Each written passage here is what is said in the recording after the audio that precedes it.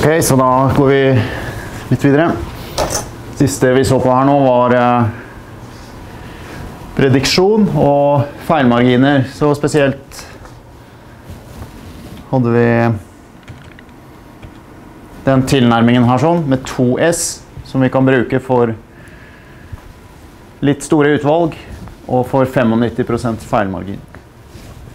Så den må dere i hvert fall få med dere.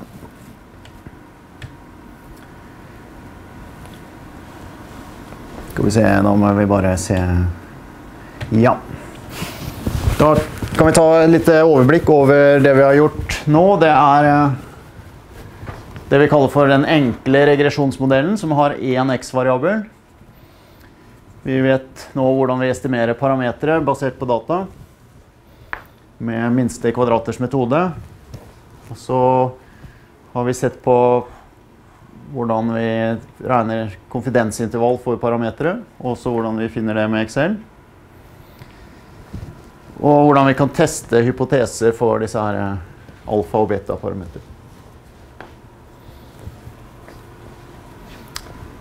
Vi har gått gjennom det vi stort sett trenger av den Excel-utskriften. Og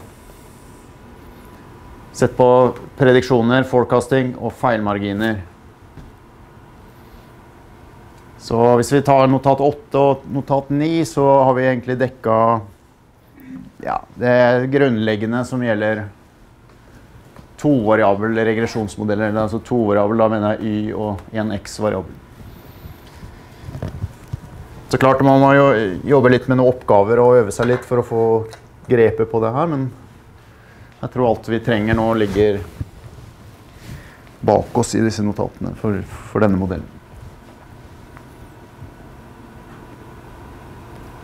Så det vi skal se litt på nå til slutt her, og som blir siste tema i det hele tatt Vi skal ta litt mer om det neste uke, men da er det også helt slutt. Det er det som kalles for multiple eh, regresjon. Så det er jo klart, i realiteten så vil vi ofte ønske å gå litt lenger enn bare å kunne ha én x-variabel i disse modellene her.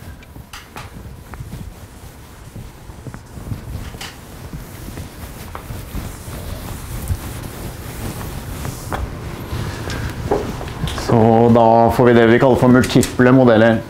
Så hvis vi har en lineær modell med tre variabler, så vil den se ut som dette her sånn. Så det er egentlig akkurat samme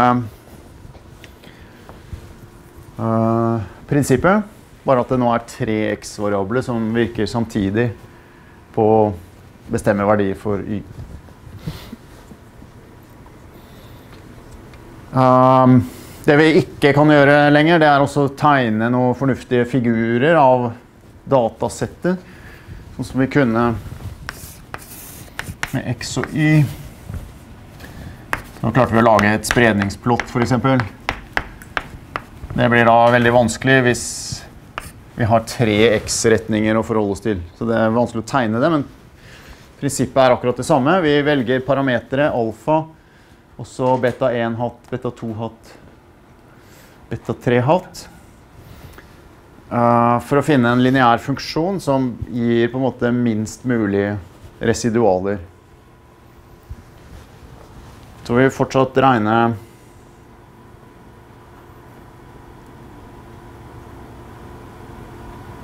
ja, for, for, en gitt lineær funksjon så blir residualene hvor mye vi bommer i forhold til de observerte y-verdiene. Og så minimerer vi da summen av kvadrater av disse her igjen.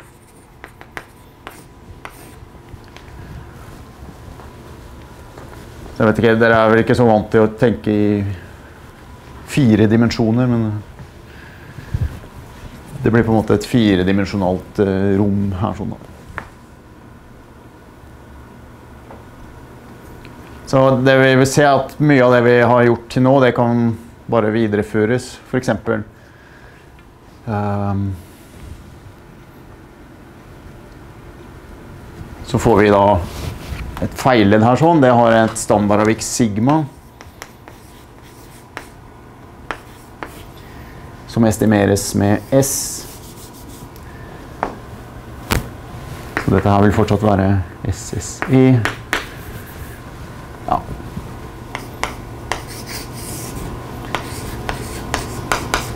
Så dere trenger egentlig ikke å bry dere om eksakte formelen her sånn. Det er bare veldig likt det det var for to variabeltilfeller. Er nå generelt ja, Hvis det er tre x-variabler, så blir det her n minus 4, f.eks. Um, generelt SSE delt på n minus k minus 1, hvor k er antall x-variabler. Så vi får dette her ut av Excel, og fortsatt så vil vi kunne bruke bare 2S som en anslag på en 95% feilmargin i prediksjon, selv for en sånn multiple modell. Yep.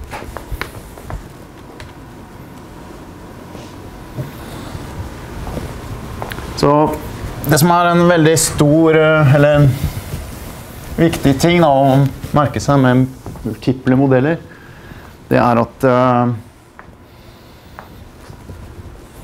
disse parameterne her sånn, for en gitt uh, variabel, de må alltid tolkes i, i lys av hele modellen.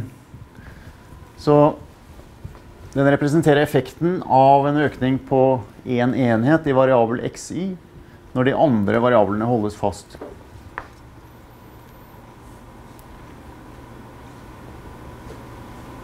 Så det vil ofte påvirke hverandre hvilke variabler du tar med i en modell. Så, så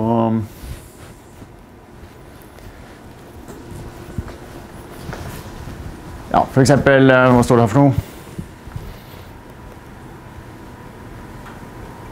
Du kan måle effekten av sentrumsnærhet på hvordan det virker på boligpris som en korrigeringseffekt for leiligheter av samme størrelse, hvis du også inkluderer arealet i, i samme modell.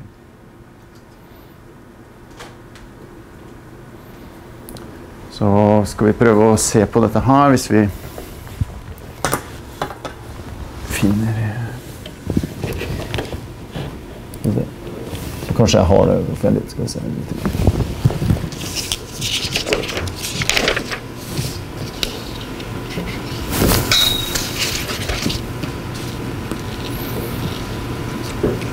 vi kan se på det her i foilene først.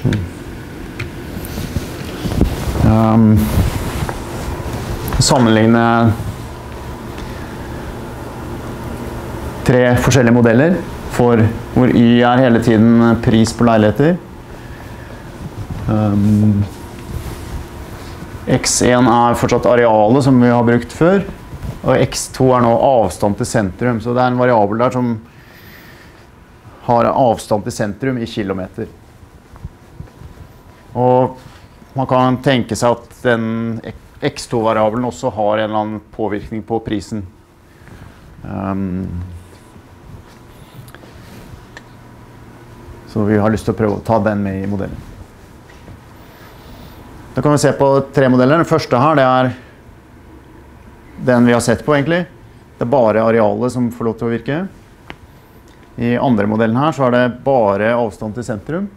Det betyr at du prøver å gjette prisen på en bolig hvor det eneste du får vite er at den ligger fire km fra sentrum. Og i den tredje så tar vi med både areal og avstand til sentrum i samme modell.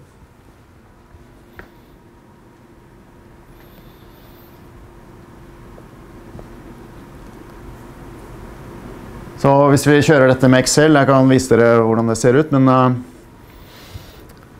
vi får en R-square her. Det er det samme basically for multiple modeller som for enkle modeller. Det måler hvor mye av variasjonen i Y som vi kan forklare med disse X-variablene. For første modellen som vi har sett på, så får vi dette her. 262 pluss um, 18,2 det var stigningstallet for areal, og R-square på 0,95. Og den X1 er da klart signifikant i den modellen.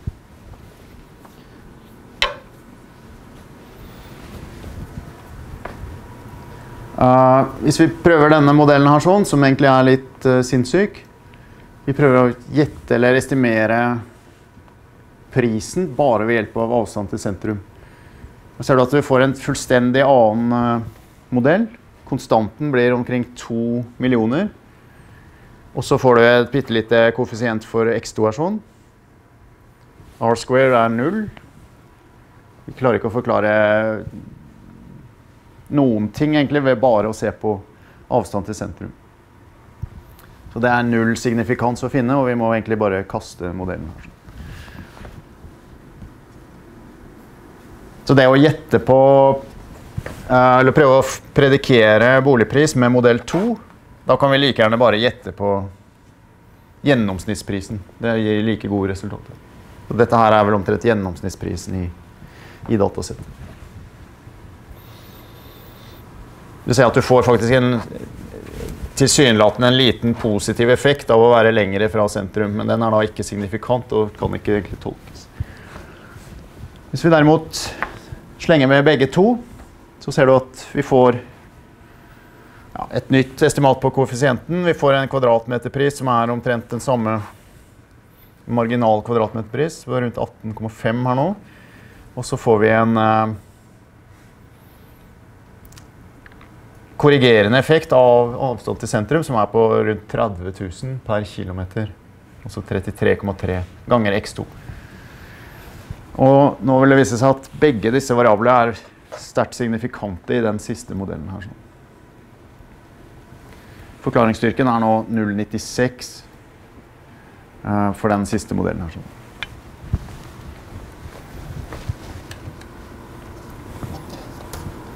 Så det er dette her som jeg mente som kanskje ble litt krøkkete formulert, men vi må være veldig forsiktige med å vurdere en variabel f.eks. ut fra hvordan den uh, fungerer alene i en modell.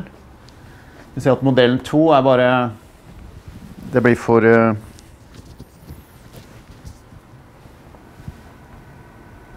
Ja, du kan si at X, Variabelen x2 den er for svak alene til å kunne vise noen signifikans. Men det betyr ikke at den er uinteressant for, for prisdannelsen. her sånn. Fordi vi ser at Hvis vi går fra modell 1, som bare hadde areal, til modell 3, så øker vi R-square fra 0,95 til 0,96. Som ser ut som det er ganske lite, men det er faktisk 20% av det som er igjen. Så hvis vi starter på 0, 100% så har vi modell 2 95% 96 Så det som var igjen av tilfeldig variasjon når vi brukte modell 1, så utgjør dette her sånn 20 prosent. Og da, så lenge vi klarer å forklare alt dette, så blir også den effekten synlig på en måte.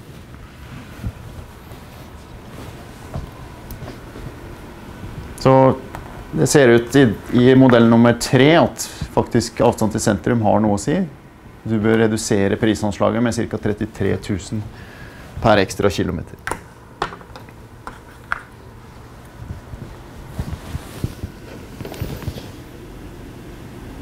Så ja Kan vi kjøre litt Excel her, kanskje?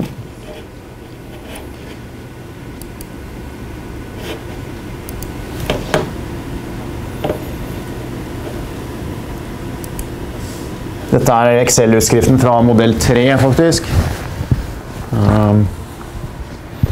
Du ser disse koeffisientene her. 343 konstant. 18,5 i marginal kvadratmeterpris. Og minus 33 omtrent for avstand til sentrum. Og P-verdiene her sånn. Her er det jo en test for hver av de parameterne. Det er den standardtesten. Så alle disse er sterkt signifikante.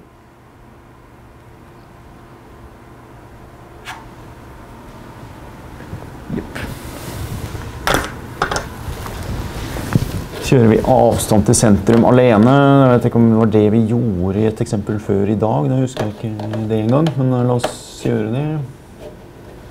Data, data Regression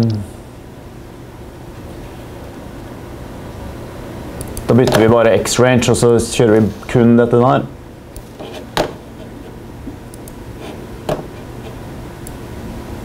Kan koste på seg et lite sånn line fit-plott der, og så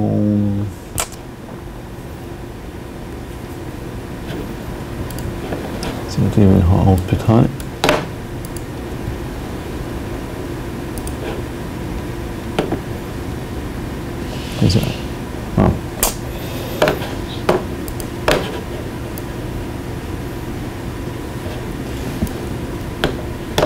Ok, så det interessante da, det står eh, her, tenker jeg.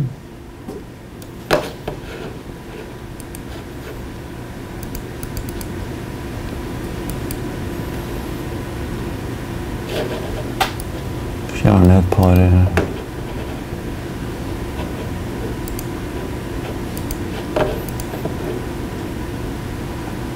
Ja. Så du ser at selvfølgelig Excel, som alle statistikkprogrammer, de, hvis du ber dem om å kjøre en regresjon med en Y og en X-variabel, så gjør de jo det. Og spytter ut beste estimerte koeffisienter. Men uh, det betyr da ikke at denne er signifikant forskjellig fra null. Og den testen er jo gjort her med en P-verdi som er helt opp på 0,94.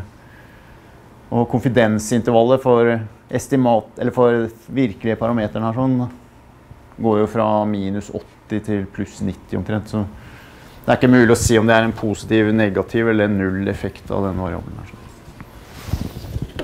Og det plottet jeg prøvde å få til her, det skulle være dette her.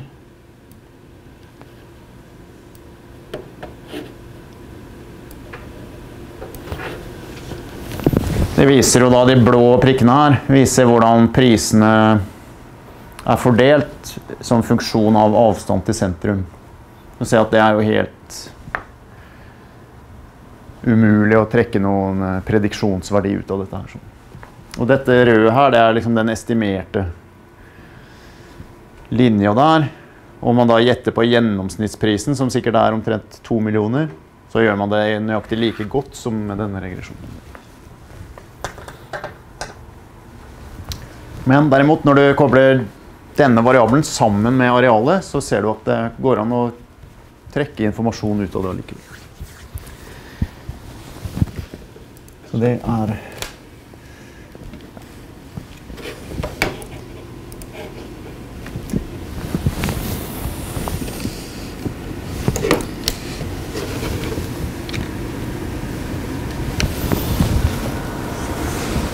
Så dette her er veldig typisk for uh, multiple regresjon. At du, du kan kjøre variabler alene. og Du kan synes som Klart at areal alene forklarer ganske mye, men av de andre variablene så er det få av de som har sterk nok uh, prediksjonsevne til å bli synlige når de må forklare alt alene. på en måte. Um, det er så mye av variasjon som skyldes arealvariasjon, så du ser på en måte ikke effekten av standard eh, avstand til sentrum osv. Så. så hvis man eh, leker seg litt her nå med dette datasettet, så kan vi finne ut at det er flere av disse variablene som faktisk virker. da. Eh, Den variabelen som vi må ta vekk først, det er den som angir by her sånn. Det er to grunner til det, egentlig. For det første så holder vi nå på kun i Molde. Så byvariabelen er konstant lik 1 i det datasettet. Um, for det andre, så om vi nå hadde data, det skal vi vel se på til neste uke Hvis vi har data for alle tre byene, så er allikevel den kodingen her sånn fra uh, Molde, Kristiansund og Ålesund på 1, 2, 3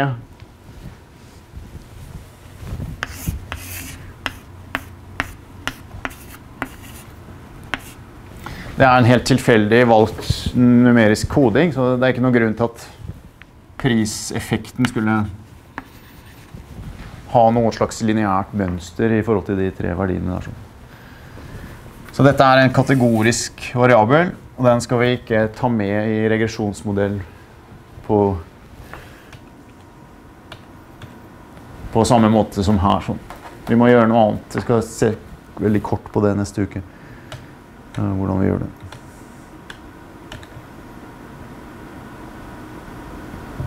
Så den eh, tar vi ikke med i regresjon, men eh, de andre variablene har en eller annen form for naturlig skala. Og så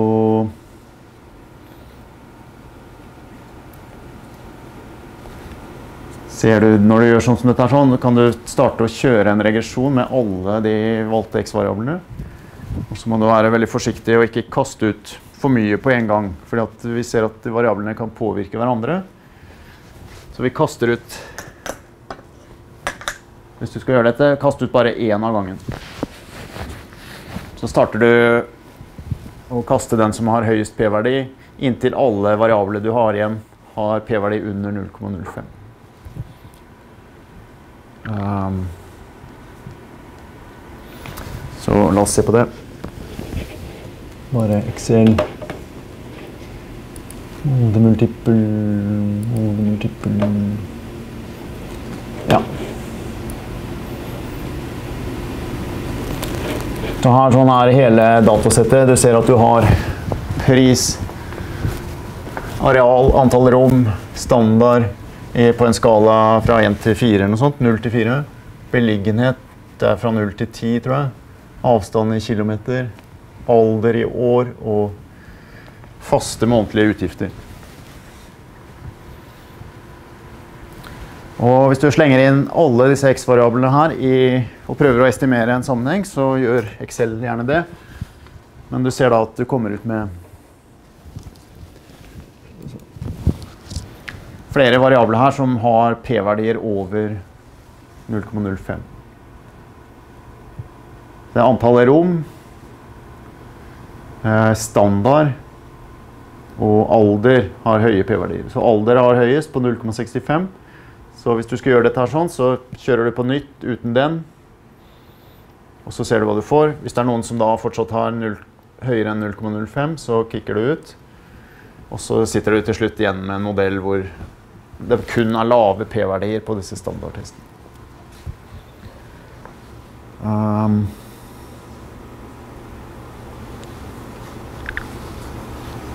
ja. En, en variabel som rom for eksempel, er litt interessant her, for det er antall rom. 1, 2, 3, 4, 5 osv.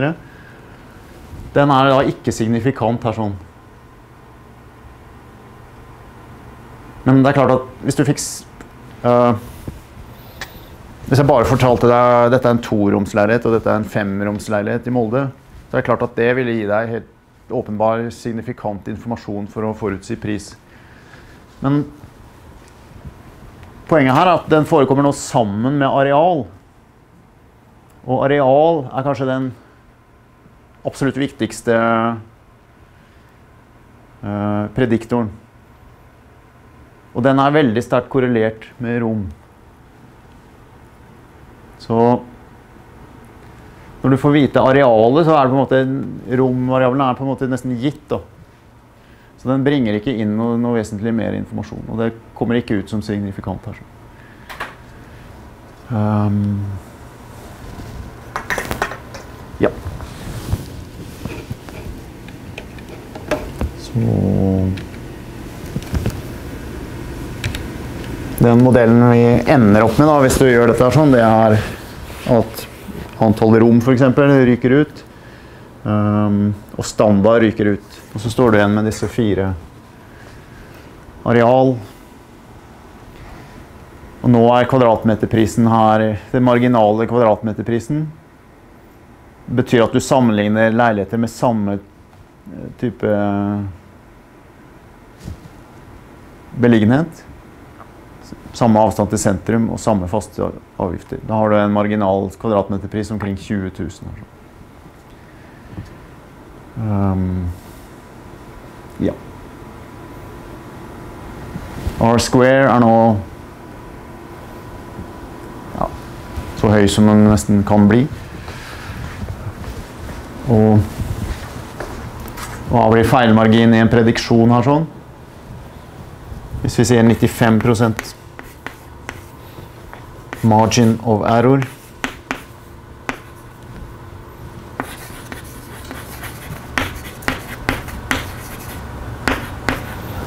det var to ganger Altså tilnærmet, da. To ganger S. Hva er S? Ser dere S her?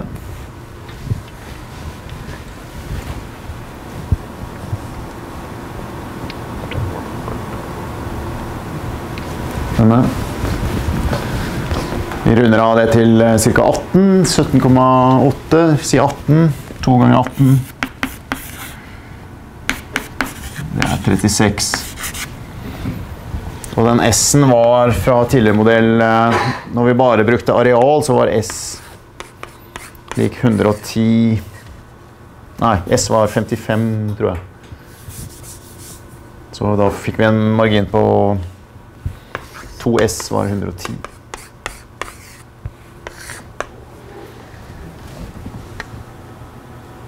Skal vi se, jeg kan bare sjekke at det stemmer. Bip, bip, bip, bip, bip, bip. Oi.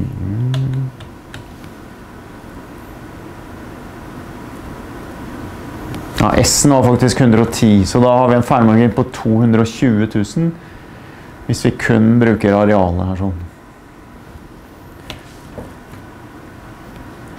Når vi slenger med viktig annen informasjon i disse variablene og tillater en multiple modell, så kommer vi til til 36 000. Så her var det 220 000. Nå er det 36 000. Så dette her bidrar enormt til å kunne forutsi priser.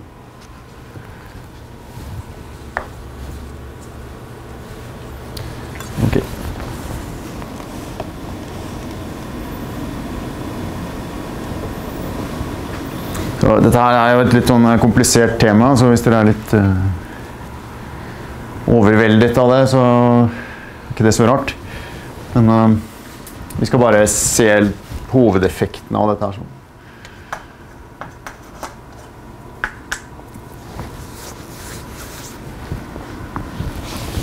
Så da runder vi av ganske greit her. Det betyr at vi er noenlunde ferdig med i hvert fall teorien for gjenvariabel regresjon. Det blir noen øvingsoppgaver nå til fredag. Og så sette litt på multiple regresjon. Hvor disse parameterne må oppfattes som korreksjonsfaktorer. Så vi kan sammenligne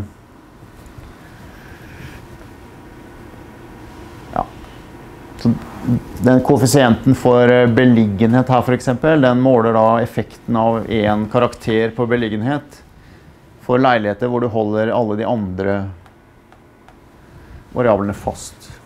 Så du kan sammenligne for 100 kvadratmeters leilighet 3 km fra sentrum med så og så mye faste utgifter. Hva har da én karakter forskjell å si på prisen? Jo, det gir da estimert 33 000 pluss i pris.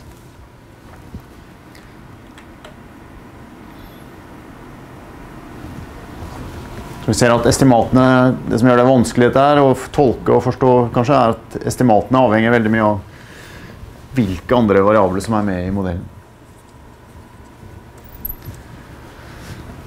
Uh, vi må holde oss unna sånne rene kategoriske variabler i foreløpig. Vi må gjøre det på en annen måte. Vi kan ikke bare ta dem med sånn som de er koda i et tilfeldig datasett.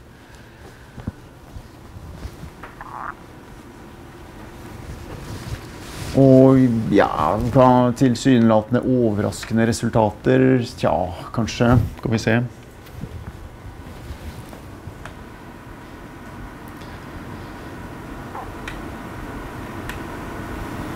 Ja, det er egentlig ikke så overraskende, men det har med at dette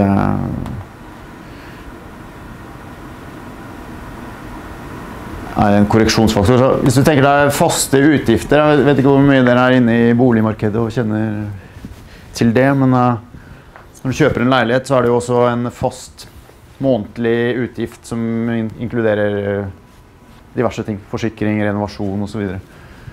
Og, og en del av de kostnadene er på en måte proporsjonal med størrelsen på leiligheten. Da. Så en større leilighet har typisk en høyere fast utgift Dermed skulle man forvente at økte faste utgifter var korrelert med økte priser. Um, og det vil du også se hvis du kjører fa faste utgifter alene mot areal, en, alene mot pris i en regresjon. Så vil du få en positiv korrelasjon der sånn. Men i denne modellen her sånn, så er det en negativ effekt.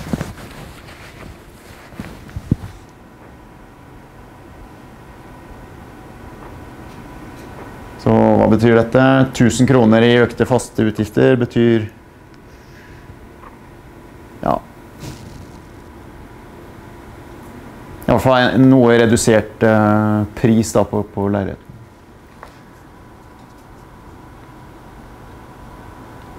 Og Grunnen til at det skjer, er at du nettopp har dette som en korreksjonsfaktor. Nå, nå får du ikke med den sammenhengen med at en høy fast utgift tilsvarer en stor leilighet, fordi at vi har låst fast arealet siden den er inkludert i modellen. Så dette blir bare en korreksjonsfaktor, som betyr at du sannsynligvis med økte faste utgifter har høyere fellesgjeld. Og ja, sannsynligvis det som er effekten. Og dermed så er dette ikke så overraskende.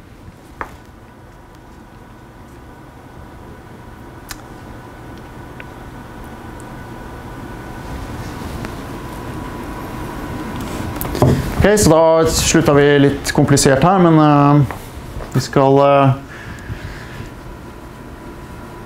bare fortsette litt grann og runde av på dette her, så avslutter vi regresjonen neste uke. Så da blir det oppgaver på fredag. Ja, så jeg husker.